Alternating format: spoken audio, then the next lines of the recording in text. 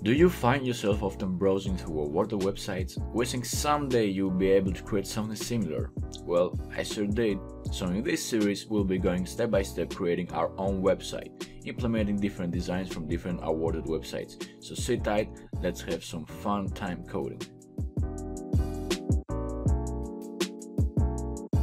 What we will be doing in this series is starting with basic web development, setting up our project, we'll learn about different JavaScript libraries and also choose front-end and back-end frameworks which suits our needs. Let's just get started.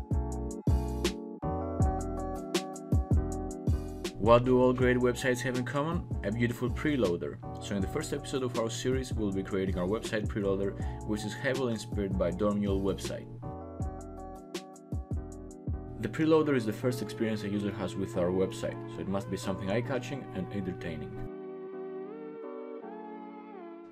So let's just get started. Um, we're creating a preloader. This is the preloader we're going to be creating. We're going to be using GSAP for our animations and also pace.js for the loader. And let's just get started. So I'm using Laragon for my local development and also Visual Studio Code for my uh, IDE Let's create our HTML boilerplate. also our CSS file. And our JavaScript file. Let's call the JavaScript file at the footer.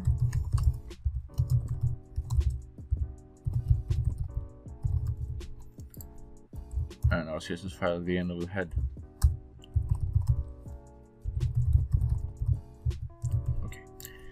Uh, before we start coding, we will want the CDN of the GSAP. And also the pace.js, which you can find it uh, in Google. And let's just get started. Um, let's see what we have here.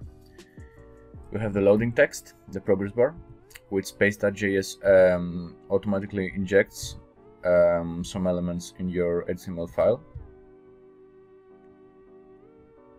And the title called Steve. Okay. It's pretty simple to implement. And let's get started. Okay, so let's put the title here, Steve.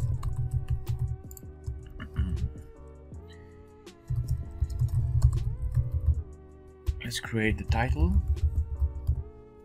which will appear when the loading is done our preloader container with the with the loading text. Okay, this will say loading, and that's all for the HTML file. Now let's go style this. Before we go, let's see what we have here. Okay. So I want to change the font. You can choose whatever font you like. Uh, there's no really I mean, you can choose whatever you want, doesn't really matter. Let's remove the margin and the padding from the body.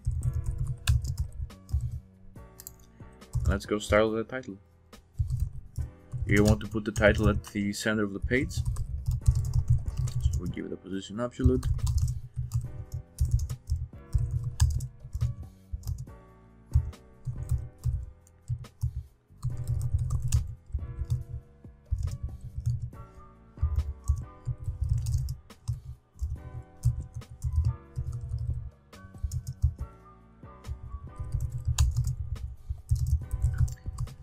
We give opacity of zero because we want to uh, make it animate and appear with uh. And that's it for the, for the title. Okay. It doesn't appear now because it has opacity of zero. So let's create our preloader container. We want to give it width of um, 100 viewport, viewport width and also the height.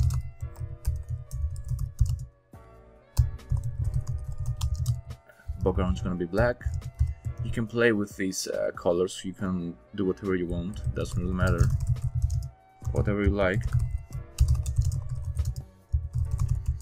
We give it a grid because we want to put the loading text at the center of the page.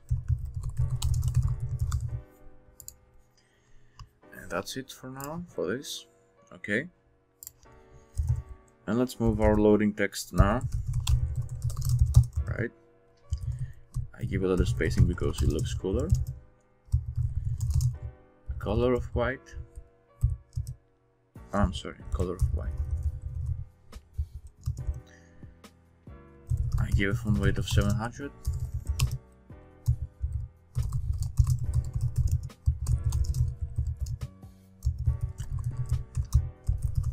I'm removing pointer events, also user cannot select it, there's no reason. That's it. We have the loading text. Now we have to animate the... No, I'm sorry, we have to style the pace.js. As you can see now, pace.js automatically um, injects some elements in your file, your code we have this pace progress okay and we just want to style it we'll bring it here. Okay let's go. I'm removing pointer events also use the user select. I'm giving as the index. So it can be at the front. Position fixed. Arching top left. We want to big, bring it to the center of the page. We give it the width of 400 you can give it width uh, whatever you want. I, I, am saying again you can play with the values. It doesn't really matter. It just depends what you want to accomplish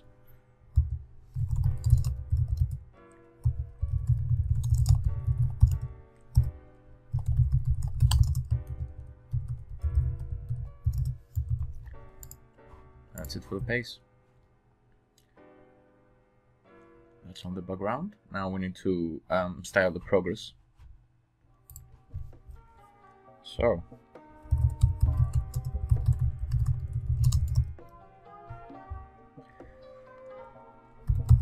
Give max width of 400 pixels. I can position absolute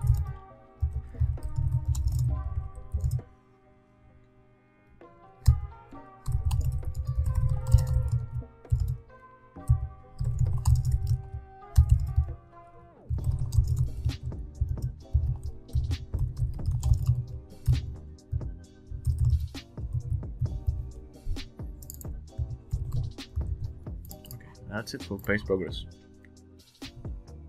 Okay. And you don't have to do anything else. Pace just takes care of everything. And now it's time to animate.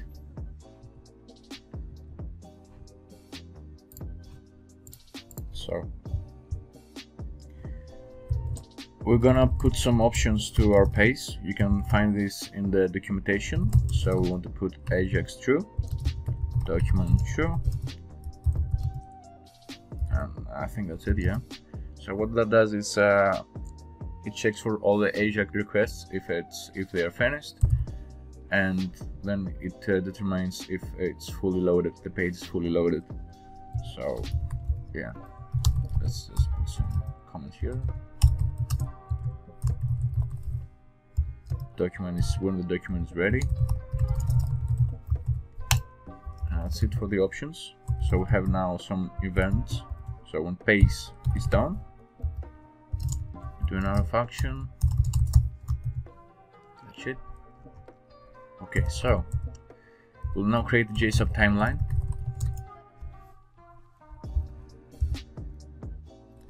So when the when the loading is finished, we want the the progress bar to scale like this. It scales and opens up with height okay. So let's go. So the shop timeline pace it will scale. So that means that it will scale up 10 times horizontal and vertically it will stay the same.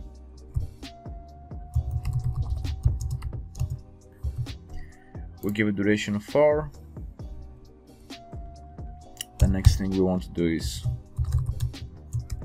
we want to give it after the scaling we want to give it some height so it, it opens up right? So it's pretty simple just it's really pretty simple. If you get the grasp of GSAP and that's the simple stuff right? And you can do many many stuff with GSAP many amazing great things. And that's it for the base. Let's see how it works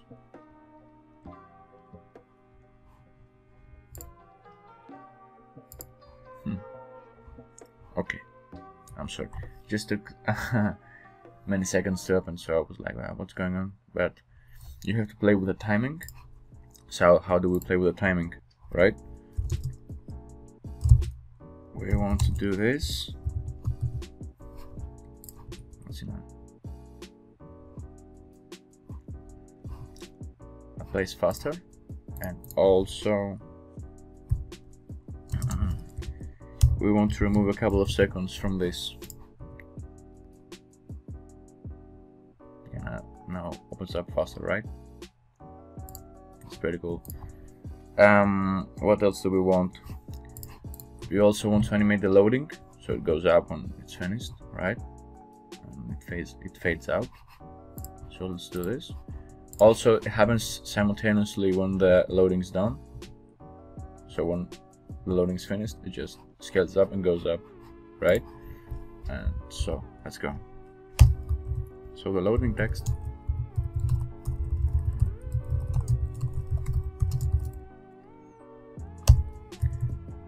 We give it delay of 0.2, duration 3, opacity to 0, Y%, minus 400, and we will also give an cool easing. So we're using Bezier, async, um,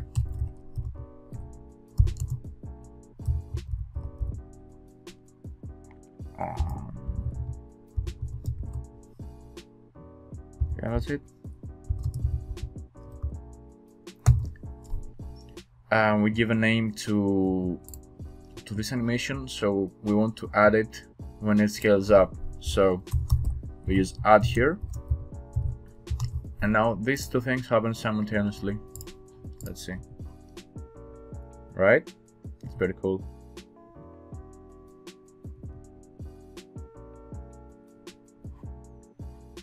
So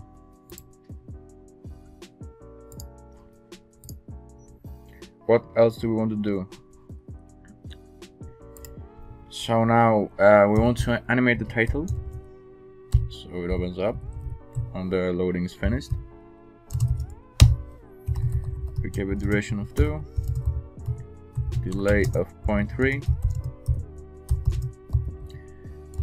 y2 minus, um, 10, and opacity to 1, because if you remember we put opacity of 0 to the title, so we animate it to um, so it fades it fades up. And let's put in some ease here. Right? I'm sorry. That's that's the correct one. Okay so let's see now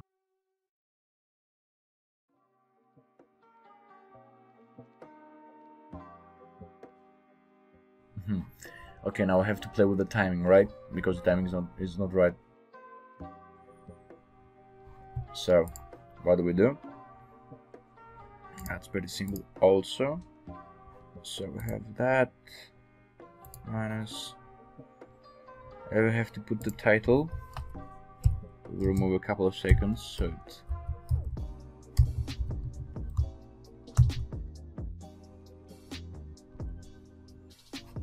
let's see now right And that's it. You now have a beautiful preloader for your page with pace.js and GSAP. Um, of course, you can experiment, do a lot of things. Like I can show you right now in Xabul. Um, first, you can put height and scale up. you can actually play with this. You can do a lot of stuff. Of course, in this series, we're going to be showing you a lot of different design implementations, copying designs from our awarded websites, and step by step creating our own website. So stay tuned, subscribe, give a like, give some feedback down in the comments, and talk to you soon. Bye bye.